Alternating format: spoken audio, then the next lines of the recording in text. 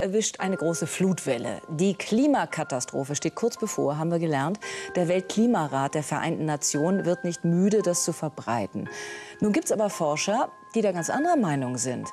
Aber sie werden nicht gehört, sondern ausgegrenzt.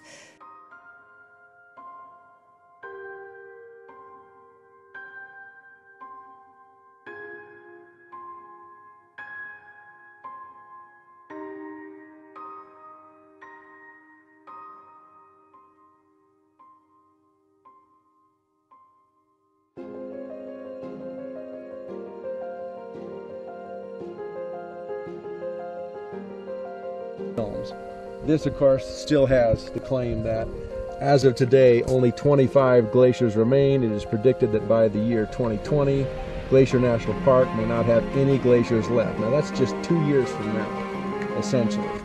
So I have a, uh, uh, a hunch that this sign will be removed in the next couple years. Right over there, there's another one that says glaciers are expected to be gone by around 2020. I'm here at the Visitor Center at uh, St. Mary Visitor Center at Glacier National Park. There's a very large panorama display here that shows the park with lots of lights and it's describing goodbye to the glaciers basically suggesting that computer models indicate glaciers will be gone by the year 2020 now that's two and a half years from now so they're projecting, this is the official government's position, that there will be no glaciers in just three years.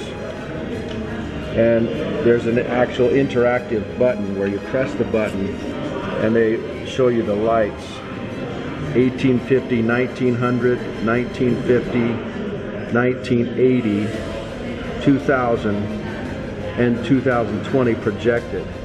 Again, the official government's position is that there will be no glaciers by the year 2020. That's in three years. I find that highly unlikely.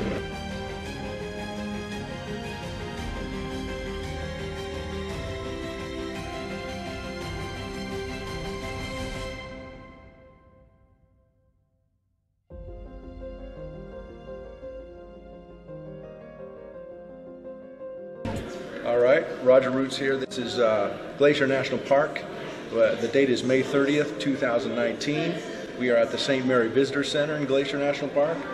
And you can see it's been a tough, over the course of the winter, they have changed this sign. This sign, just last September, actually said the glaciers were all predicted to melt by the year 2020. And now it says when they will completely disappear depends on how and when we act. Meaning if we get so if we become socialist soon, we maybe we can save them. And if we don't go socialist, you know, they'll be, you know, melted by, I don't know when, 2030 or something. But let me show you what used to happen. There's this future light, generations. Light. It used to say 2020, so they have visibly changed their signs. The National Park Service has changed their signs because that used to say 2020 just last year. So uh, stay tuned for more. Thank you very much.